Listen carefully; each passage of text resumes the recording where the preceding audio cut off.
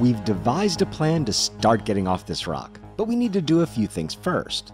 Build a drill rig, get some ice, convert it to hydrogen, and, of course, start building a working ship with as few parts as possible.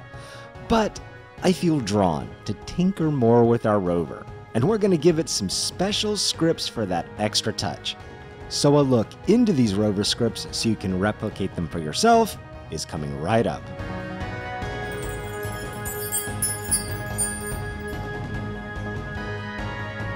So, what started my distraction with the LCD displays was just a natural progression of the game. The next thing I needed to do was build a drill rig to bore down through the top layer of stone and get to the ice we detected underneath, in this dark green patch of vegetation. I did a little walking around with a hand drill to find a place where the ice was as close as possible to the surface. And with the drill site established, it was a simple matter of building a basic drill rig and, of course, putting enough scaffolding around the thing so it could reach all the parts. Because we're playing without a jetpack as part of the challenge.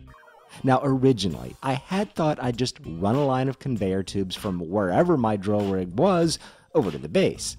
But that would be too easy. And this is Space Engineers, so we need to do something more engineering. Instead, I decided to build this drill rig with a connector and use our rover to shuttle over any ice and material we dig up. For the rover itself, I'm still not completely satisfied. I'm liking its unique three wheel design, and I've been able to create a fairly roomy interior space to make it a little mini mobile base and add a lot of utility. But it needs more. A lot more.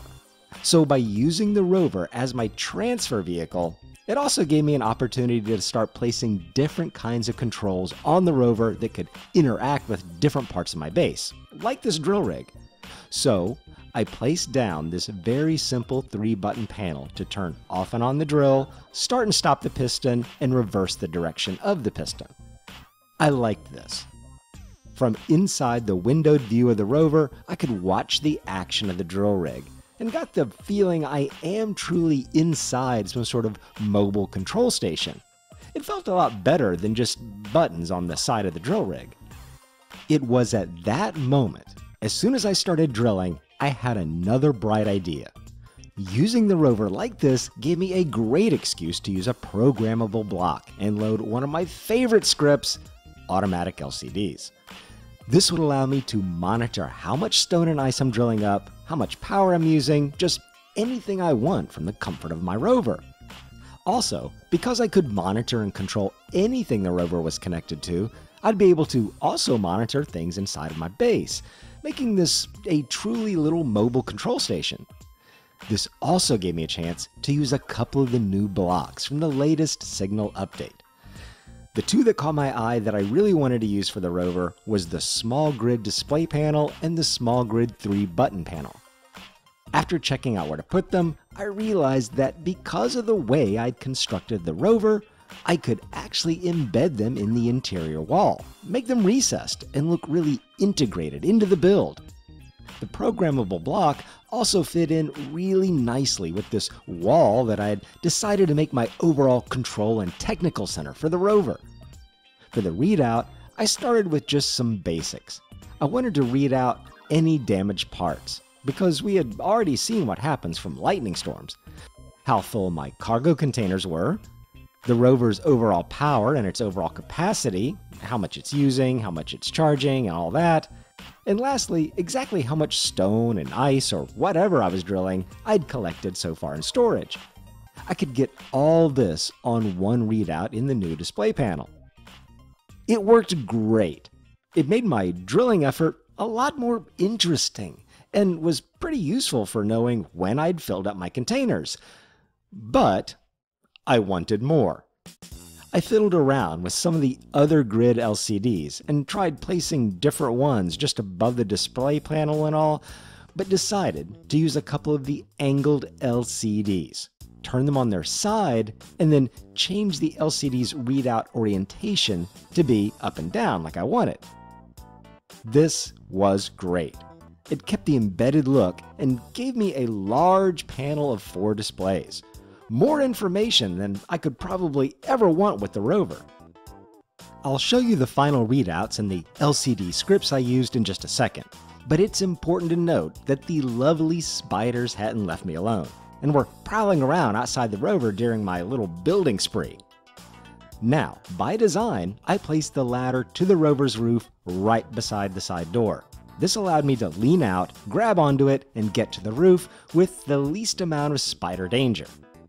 I also noticed that while I was doing all this fancy display and mining stuff, a meteor had apparently landed just a few feet between my rover and my base. So the threat is real. It's really just a matter of time here out in the open. With the spider problem dealt with, though, the next thing I needed was a place to process the ice in my base. Now, I really had some options here. Because I'd converted a good bit of the interior to small grid, I considered using a couple small grid H2O2 generators to process the ice. They'd use up very little space, and I even had a small grid converter built into the rover. But in the end, I decided to lay down a channel of conveyors in the floor and set a full-sized, large grid H2 generator in the wall of the base. It would take up no room inside and even left me with what might be a convenient access port on the outside. It also just added more to the hodgepodge nature of the base, which I'm leaning into more and more. With that in place, the ice processed quickly, and I could get on with the rest of my tomfoolery with the rover, which was more unnecessary activity, but a very enjoyable one, tinkering with my displays. So let me go over the settings to get these displays. Starting with the new display block from the signal update, it shows any damaged functional blocks, the percentage of cargo space that's filled on the rover, and power information. And all this is just for the rover, no matter what it's docked to. I get this with the following settings for the automatic LCDs. Anytime you see an echo command, it's either for a blank line or if it has text following it, it's for custom on-screen text. I won't be calling out every echo line here in this video. It starts with the title line, then damage X to show damaged functional blocks, cargo X to show the total cargo space percentage, and the power X to the battery information. In general, the X hides any extra data I'm not interested in. The isopod name you see in curly brackets is the name of the rover, which limits the information to just the named grid, and not anything about the base or wherever I'm docked.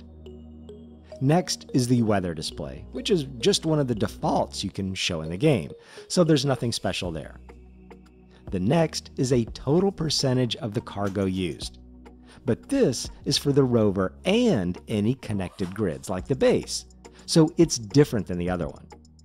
This display also shows raw ores and some other miscellaneous items I'm interested in.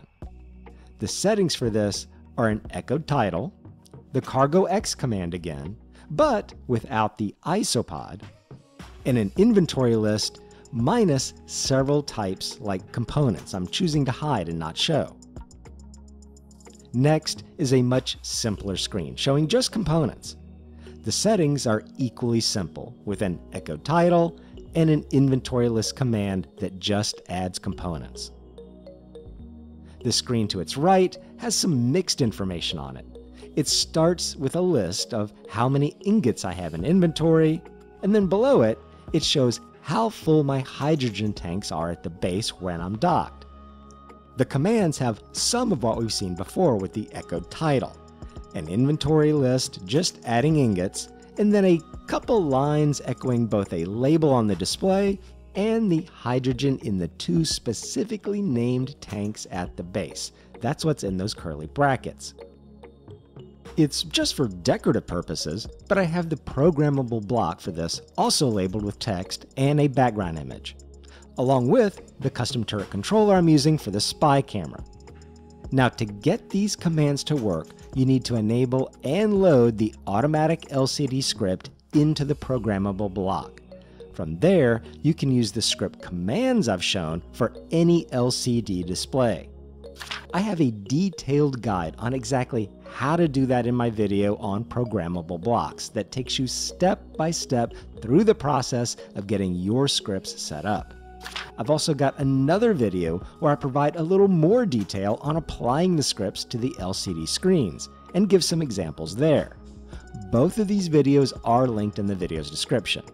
This video is more of a quick guide, so I suggest you watch one or both of those to paint a really complete picture. It seems like everywhere I go, I'm being dogged by meteors, so I need to get on with the plan of constructing a ship and getting to the much needed space station. But I'm having fun with the rover, and at the last minute, even added another at a glance display next to the mining control console. The engineering of space engineers is very distracting. But we are making progress. And given the meteor near miss earlier at the base, we need to get our primitive ship built and launched in the next episode. Maybe. I hope. Till then, take care, and I'll see you in the next episode.